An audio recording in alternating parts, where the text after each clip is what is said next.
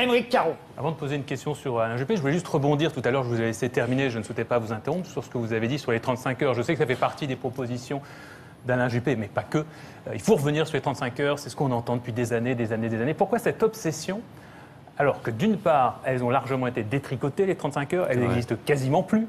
Donc il faut arrêter de nous prendre la tête avec ça. Et que d'autre part, il y a encore un rapport parlementaire cette semaine qui nous explique que les 35 heures ont fait énormément de bien à l'emploi et à l'économie française en général, que c'est même la meilleure mesure depuis des années et des années. C'est pas le premier, c'est pas le premier rapport. ce rapport cite d'autres chiffres, d'autres études qui ont été faites avant, la DARES par exemple, qui, parle de 350 000 emplois créés.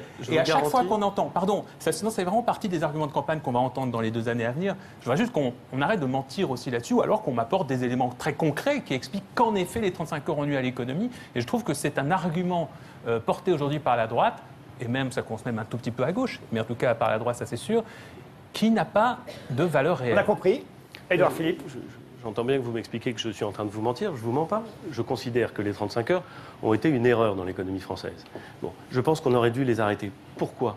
Pas du tout parce que les entreprises se sont trouvées interdites de euh, organiser euh, le travail et la durée du travail comme elles le voulaient. On a, avec beaucoup d'argent, et avec une complexité infinie du droit du travail, réussi en effet à détricoter les aspects les plus contraignants euh, des 35 heures. vous avez raison, on a créé une grosse usine à gaz très compliquée pour éviter de supprimer quelque chose. enfin, d'une certaine façon, reconnaissez avec moi que ce n'est pas la meilleure solution. Mais surtout, on ne travaille pas assez dans ce pays.